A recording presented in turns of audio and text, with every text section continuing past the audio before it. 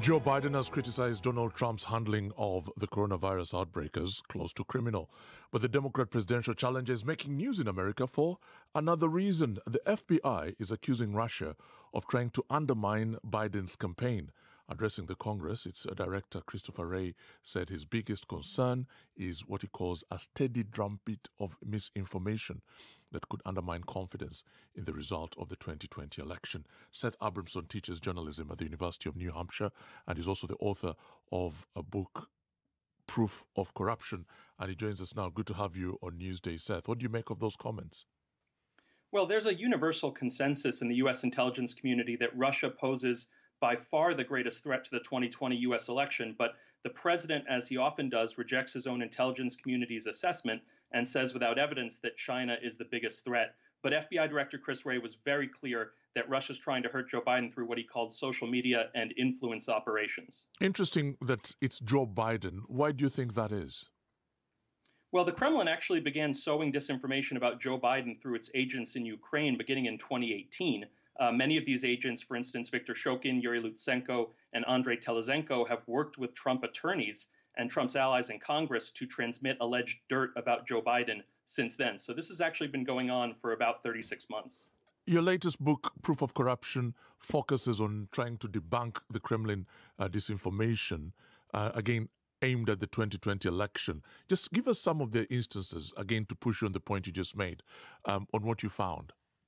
Well, let me focus on the main one the primary false claim that the Kremlin is trying to sow as disinformation in the United States, and that the president and his lawyers, and frankly, Senator Ron Johnson of Wisconsin, who's running a probe on this, are trying to sow, and that the Kremlin wants to see crystallize in the U.S., is that Joe Biden's anti corruption efforts in Ukraine in 2015, efforts that actually were aimed at reducing corrupt Kremlin influence in Ukraine, were in fact somehow themselves corrupt Specifically, Trump and his allies focus on the firing of Ukrainian prosecutor General Viktor Shokin, which actually was a consensus consensus move that the entirety of the West supported. It was not just Joe Biden.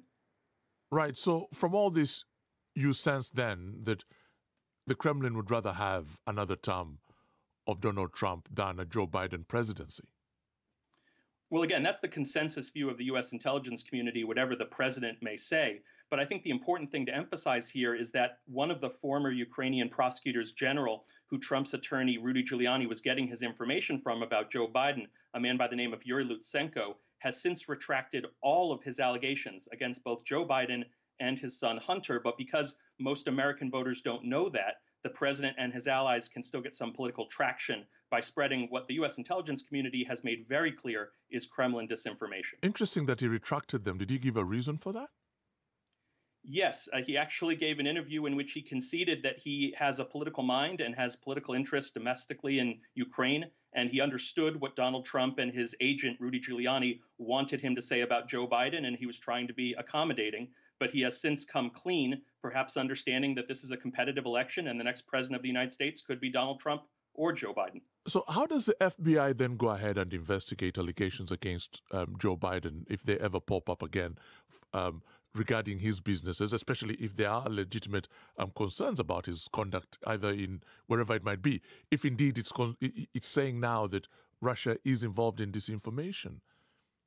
Well, we should be very clear in saying that there is no evidence whatsoever that the FBI is actually investigating any of these allegations. In fact, again, not just the intelligence community, but the U.S. law enforcement community at the federal level has made clear that these comments, this conspiracy theory that the president and his allies are spreading, right. has no basis whatsoever, in fact. And very briefly, if you can, how does 2016 or how does this 2020 situation compare to what happened in 2016 where the Russians were accused of interfering?